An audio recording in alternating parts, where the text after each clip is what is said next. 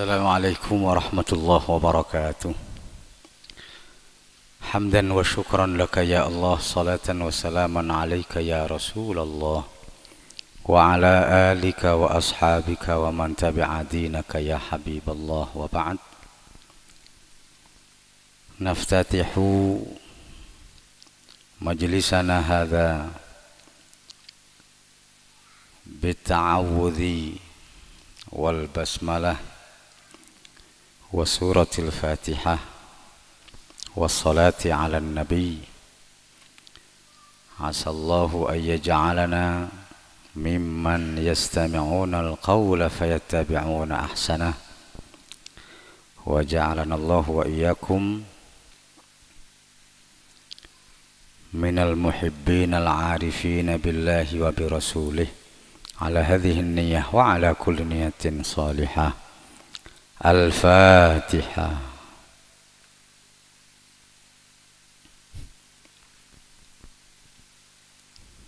الإخلاص. الإخلاص. الإخلاص. اللهم صل وسلم على أحمد أمرك ومحمد خلقك وأسعد كونك عدد خلقك ورضا نفسك وزنة عرشك ومداد كلماتك. نسألك اللهم به وفقهنا في دينه وأحينا على سنته وأمتنا على ملته واحشرنا في زمرته. أعوذ بالله العظيم. وبوجهه الكريم. وبوجهه الكريم. وسلطانه القديم. من الشيطان الرجيم. من الشيطان الرجيم. بسم الله طريقي. بسم الله طريقي. الرحمن رفيقي. الرحمن رفيقي. الرحيم يحرسني. الرحيم يحرسني. من كل شيء يلمسني. من كل شيء يلمسني. بسم الله الذي لا يضر مع اسمه شيء في الأرض ولا في السماء وهو السميع العليم.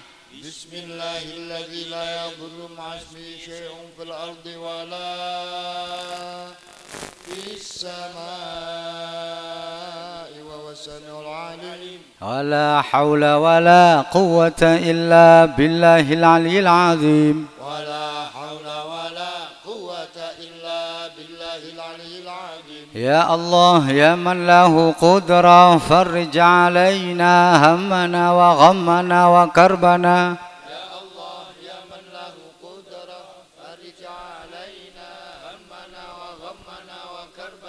يا الله يا من لا ينام حسن الخاتمة والموت على الإيمان اكفنا شر الظلم بجاه النبي عليه الصلاة والسلام.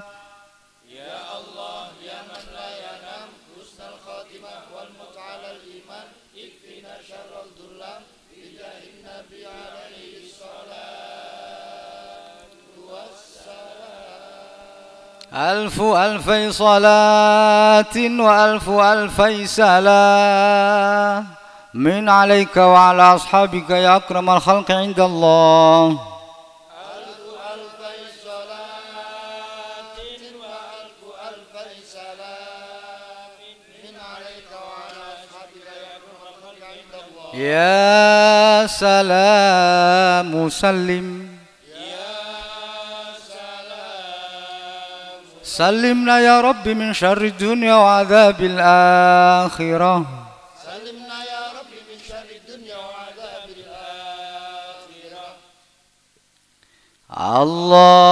اللهم آمين يا رب العالمين. سبحانك لا علم لنا إلا ما علمتنا إنك أنت العليم الحكيم. سبحانك لا تهملنا إلا ما رحمتنا إنك أنت الجواد الكريم. اللهم يا رب اجعل جمعنا هذا جمعا مباركا مرحوما واجعل تفرقنا من بعده تفرقا سليما موفقا مصونا معصوما. اللهم يا رب لا تجعل فينا ولا منا ولا معنا شقيا ولا محروما. اللهم يا رب استرنا فوق الأرض اللهم يا رب استرنا تحت الأرض. اللهم يا رب استرنا يوم العرض. اللهم يا رب بالغ لنا في شيخنا وافن أسماءنا في اسمه وأحوالنا في حاله ورسومنا في رسمه وذواتنا في ذاته. بجاه نبيك المصطفى رسولك المرتضى. سبحان ربك رب العزة عما يصفون وسلام على المرسلين والحمد لله رب العالمين. بسم الله الرحمن الرحيم. هلمن 26 ومما يدلك على شرف الزيارة أنه صلى الله عليه وسلم خرج بأمر ربه زائرا للبقيع ليلا يستغفر لأهله. ولو شاء يستغفر لهم في بيته لكان. لكن أراد الحق سبحانه أن يشرع الزيارة Di antara dalil yang menunjukkan kemuliaan ziarah adalah bahwasanya Rasulullah Shallallahu Alaihi Wasallam suatu malam diperintah oleh Allah untuk keluar rumah dengan maksud ziarah makbarah Baqi' yang ada di Madinah. Tujuannya untuk memintakan kesalahan dan dosa ahli kubur baki. Walau sya'a jika jika Nabi jika Allah berkehendak cukup didoakan dari rumah saja saya Allah tidak memerintah Nabi kita untuk keluar rumah menuju makbarah Baqi. Dengan Allah memerintahkan untuk keluarlah dari rumahmu menujulah makbarah Baqi itu jelas bahwa ziarah kubur itu perintah Allah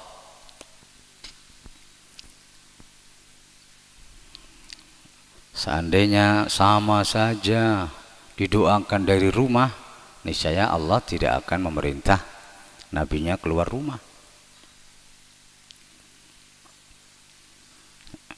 Dari sini jelas bahwa Allah menghendaki disyariatkannya atau diberlakukannya ziarah atau mengunjungi, mendatangi kubur kaum mukminin wal muslimin. Walillahi durru Sayyid Ibrahim At-Tazi Dafin Wahran idh yaqulu fi qasidatih Ziyaratu arbabit tuqa marhamun yubari ومفتاح أبواب الهدايات والخير وتحدث في القلب الخلي إرادة وتشرح صدرا ضاق من ساعة الوزر وتنصر مظلوما وترفع خاملا. وتكسب معدوما وتجبر ذا كسر. وتبسط مقبوضا وتضحك باكيا. وترفع بالبر الجزيل وبالأجر. عليك بها فالقوم باحوا بسرها. وأوصوا بها يا صاحي في السر والجهر. إلى أن قال ولا فرق في أحكامها بين سالك مرب ومجذوب وحي وذي قبر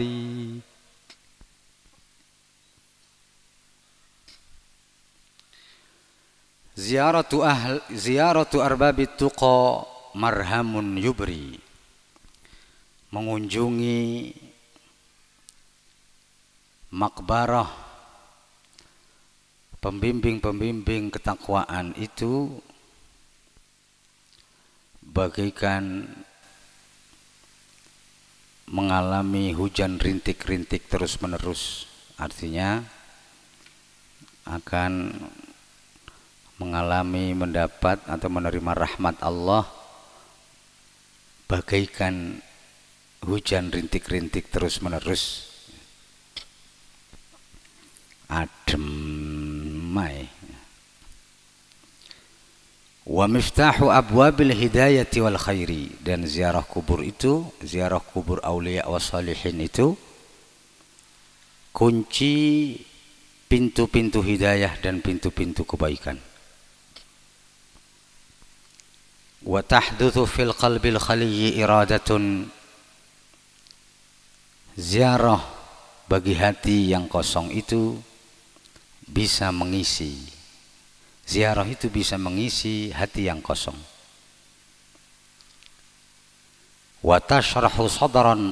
Min dan bisa melapangkan dada yang sempit dari atau sebab banyaknya dosa.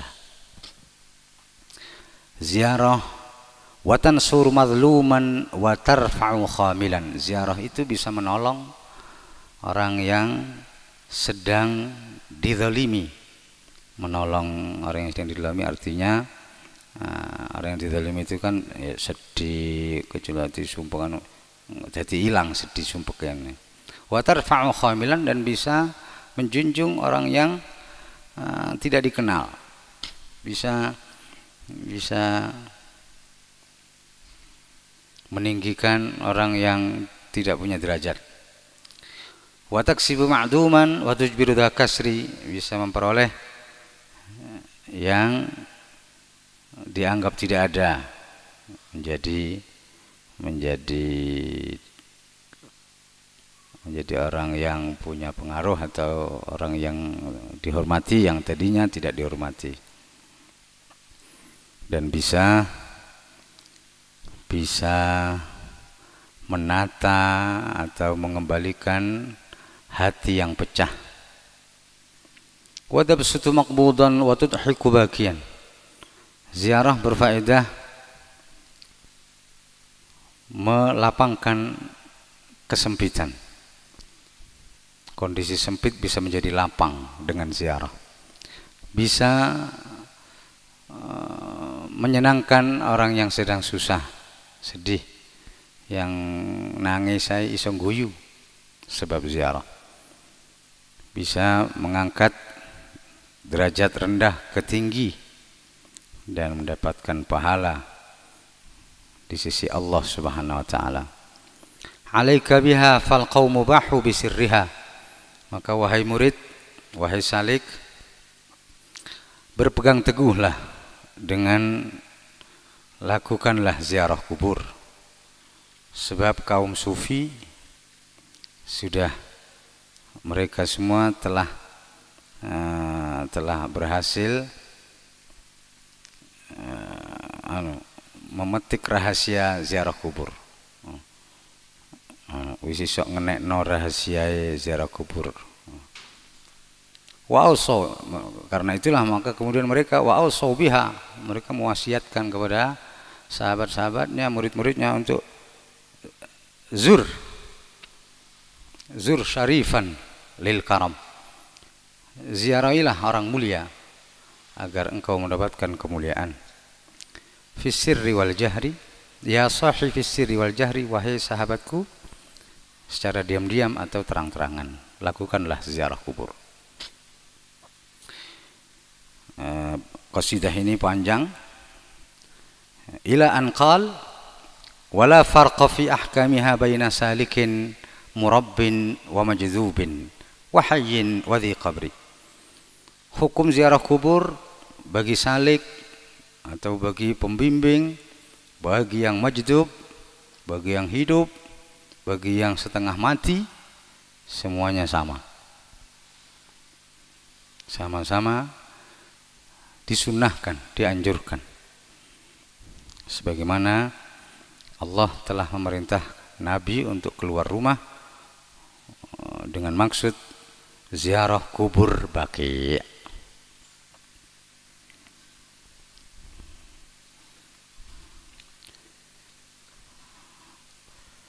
Kalau di fikih soal ziarah kubur terjadi khilafiyah perselisihan pendapat ba'duhum sebagian di antara mereka ada yang melarang ulama kita.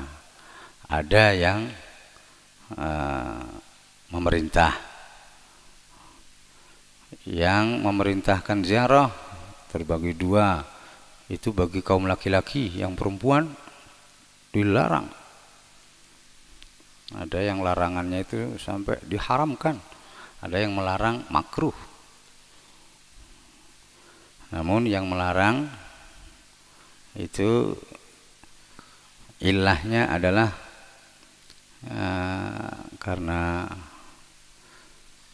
fitnah. Karena umumnya perempuan itu main perasaannya lebih ke depan anu sehingga nanti jadi ngerepot no jadi jadi jerit jerit jadi anu nah itu karena karena kenyataan lapangan itu seperti itulah. Kemudian Nabi mengharamkan. Tapi kalau bagi kaum sufi muttafaqun alaihim. Tidak ada yang berselisih. Semuanya sepakat memerintah untuk ziarah kubur ziarah kubur yang dimaksud di sini adalah ziaratul aulia was salihin. Kedua orang tua yes gak dibahas itu. Itu sudah badihi sudah maklum adanya. Anak ya haruslah menziarahi kubur kedua orang tuanya itu sudah gak, gak, gak perlu dibahas. Yang sing maklum maklum gak, gak perlu dibahas sebagian ulama fikih ini kembali ke fikih yang melarang melarang ziarah kubur itu kecuali kubur Nabi dan dua sahabatnya Abu Bakar dan Umar karena uh, hadis yang menganjurkan itu banyak sekali. Namun selain mereka, selain Nabi dan kedua sahabatnya uh, dilarang. Ini karena kejelasan karena ya sebetulnya mereka ya saking hati-hatinya sampai ini sampai ngelarang. Bagi pelajar muslim semua tahu hadisnya sangat populer. Nabi bersabda kuntu nahaitukum an ziaratil kubur fazuruha dulu aku melarang kalian ziarah kubur. Sekarang ziarahlah. Ini jelas. Kenapa Nabi dulu melarang kemudian sekarang sekarang ini setelah para sahabat tauhidnya kuat, wawasannya cukup dan uh, tidak khawatir uh, salah langkah, tidak khawatir syirik, diperintah ziarah. Dulu aku melarang kalian ziarah karena dulu kalian tauhid kalian belum mantap. Pengetahuan Islam kalian belum cukup. Khawatir nanti kalian salah letak keliru pasang. Kini kalian sudah cukup. Dasar akidah tauhid kalian ilmu hukum yang eh, ada dalam firman Allah anu sudah cukup. Sekarang ziarahlah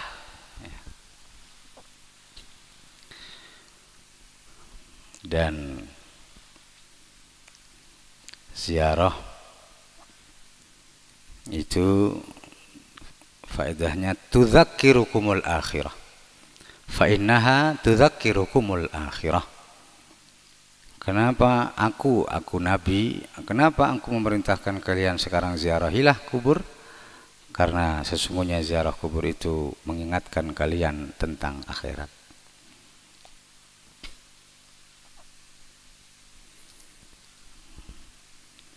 Sampai di sini dulu, mari kita diskusikan, kita dalami, kita luaskan, sehingga menjadi lebih jelas, lebih lebih kena apa maqadi maqasidus syar'iyyah dan asrar-asrar di balik perintah ziarah kubur.